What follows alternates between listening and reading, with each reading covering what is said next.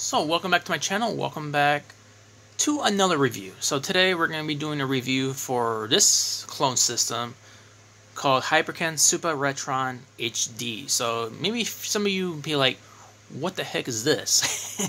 it's basically, it's a Super Nintendo clone or Super NES or SNES clone system. So basically it's a really cool system. It's basically no different than I showed before, which I did reviewed. I'll show it again if you haven't seen that last video. I'll link it down in the description below. This is basically, this is the NES one. This is the Super Nintendo one. So, so basically, you get, let's just start with the, you know, what you do. You put the cartridges in here, as the pins, and you got the on and off switches. Is basically just do that. And you got the reset, and right here is this really cool feature because Super Nintendo cartridges are known to be very tight, usually a lot of times. So what's cool about what they did with this, this time you just eject it, As you just press down and it will just eject. I'll, let me do a demonstration.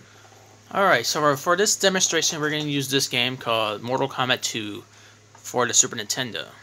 So we're going to do this, you just put it in like that, and it, so you try to force it out, it's going to probably break the connection in the, or the pins.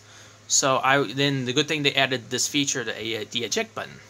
So how it works, you just do this, and it comes right out.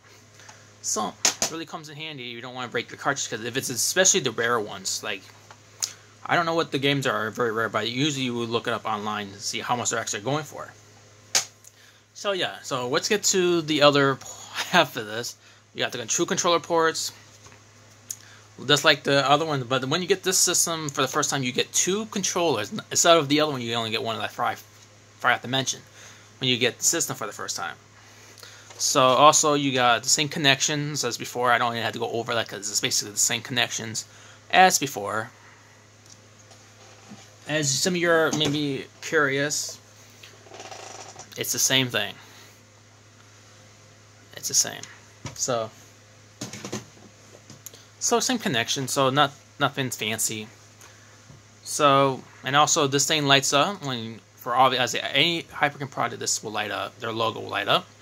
So yeah, so I don't know what else. Oh, and also same thing as the last one, NTSC and PAL switch, like I mentioned in my other review. So yeah, not a whole lot to go over. So, so this video is going to be kept short. So there's not a, lot, a whole lot to say about this console of the clone system of the Super Nintendo. So let me know down in the comments down below what you think about the Su SupaRetron HD by Hyperkin if you haven't tried it out, or maybe you try a different console like I said before. Consoles that support these systems like the Super Nintendo, the NES, whatever.